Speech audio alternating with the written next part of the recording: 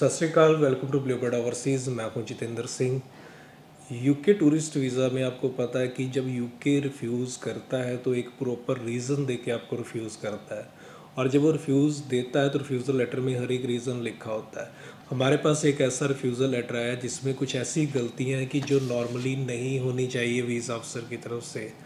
और हम हमारे पास जो ये एप्लीकेशन आई है ये पीएपी के लिए आई है इनका रिफ्यूज़ हुआ है और हमारे पास प्री एक्शन प्रोटोकॉल के लिए आई है। हम इसका प्री एक्शन प्रोटोकॉल करने जा रहे हैं अप्लाई आ, वीडियो शेयर करने का पर्पस ऐसा है क्योंकि जो इन्होंने गलतियाँ वीज़ा अफसर ने इस फ़ाइल में की हुई हैं चेक करते हुए ऐसी गलती आप किसी के साथ हुई है तो आप प्री एक्शन प्रोटोकॉल ज़रूर डालें क्योंकि वीज़ा निकलने के आपके चांस पूरे हो जाएँगे उस केस में।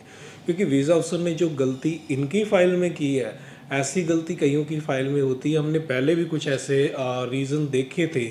ऐसी चीज़ें देखी थी जहाँ पे वीज़ा अफसर ने गलतियाँ करी थी और प्री एक्शन प्रोटोकॉल में वो फ़ाइल जो है वो हमने करी और उसके बाद वीज़ा भी निकले। और इनकी आ, केस में क्या गलती हुई है?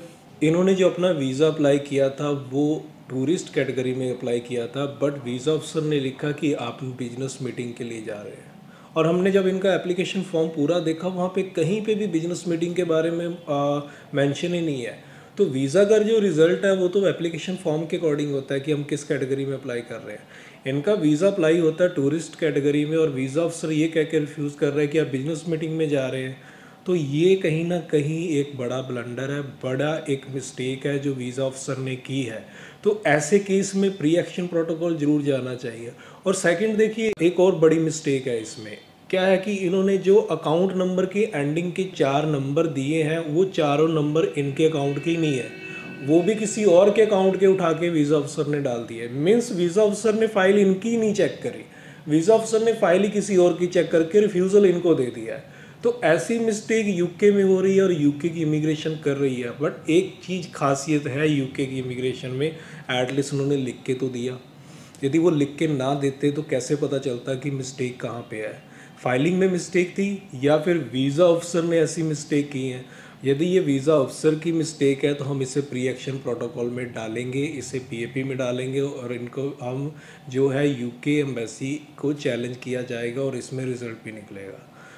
क्योंकि ये चीज़ हमेशा देखने को मिली है यूके में कि जब वीज़ा अफसर आपकी फ़ाइल असेस करने में गलतियाँ करता है तो हम उसे प्री एक्शन प्रोटोकॉल में डाल के वीज़ा ले सकते हैं।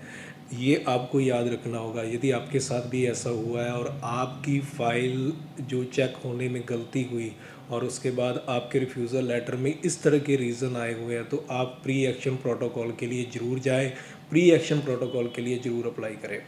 एटलीस्ट ये चीज़ अच्छी है यूके में जो लिख के देते हैं बट ऐसी काफ़ी कंट्रीज़ हैं जिनमें रिफ्यूज़ल आते हैं बट वो लिख के नहीं देते। कनाडा में बहुत रिफ्यूज़ल आते हैं लोगों के, लेकिन वो लिख के नहीं देते कि रीज़न क्या था। शैनगन में बहुत रिफ्यूज़ल आते हैं बट लिख के नहीं देते कि रिफ्यूज़ल का रीज़न क्या था। बाकी अदर कंट्री में इवन की वर्ल्ड कप के टाइम में ऑस्ट्रेलिया ने जो रिफ्यूज़ल दिए ऑटो रिफ्यूज़ल थे वो सारे के सारे। एक ही रीज़न सबके में आ रहा था कि जो जिस कैटेगरी में अप्लाई कर रहा था, उसी कैटेगरी में उनको रिफ्यूज़ल दबा के देने शुरू उन्होंने कर दिए इवन कि पेरेंट्स के वीज़ा रिफ्यूज़ हुए, जिनके बच्चे वहाँ पे सिटीजन थे, ऐसे ऐसे रिफ्यूज़ल वहाँ पे हुए, जिनका वीज़ा आ सकता था, जो पहले ट्रैवल थे ऑस्ट्रेलिया में, वो भी रिफ्यूज़ किए गए। तो ऐसी मिस्टेक होती हैं कई बार वीज़ा ऑफिसर से। तो यूके में ऐसे आपके साथ हुआ है और आपके हाथ में रिफ्यूज़ल लेटर और आपको लगता है कि वो जो है प्री एक्शन प्रोटोकॉल के लिए जाना चाहिए तो ज़रूर डेफिनेटली प्री एक्शन प्रोटोकॉल के लिए जाओ।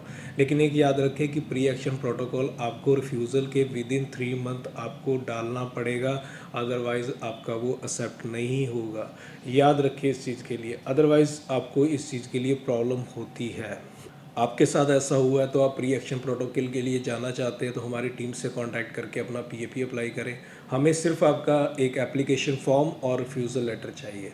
एप्लीकेशन फॉर्म और रिफ्यूज़ल लेटर से हमें क्लियर हो जाएगा कि वीज़ा ऑफिसर ने गलती की है या नहीं, और यदि वैसी गलती हुई है तो उस केस में आप अप्लाई ना करें, आप सिर्फ़ प्री एक्शन प्रोटोकॉल के लिए जाएँ। तो उम्मीद है ये इन्फॉर्मेशन आपके काम की होगी। इन्फॉर्मेशन अच्छी लगी है तो इस चैनल को लाइक एंड शेयर ज़रूर कर दें। और चैनल सब्सक्राइब नहीं किया तो प्लीज़ सब्सक्राइब ज़रूर कर दें। तो मिलते हैं फिर एक नेक्स्ट वीडियो में नई इन्फॉर्मेशन के साथ। तब तक के लिए सत श्री अकाल।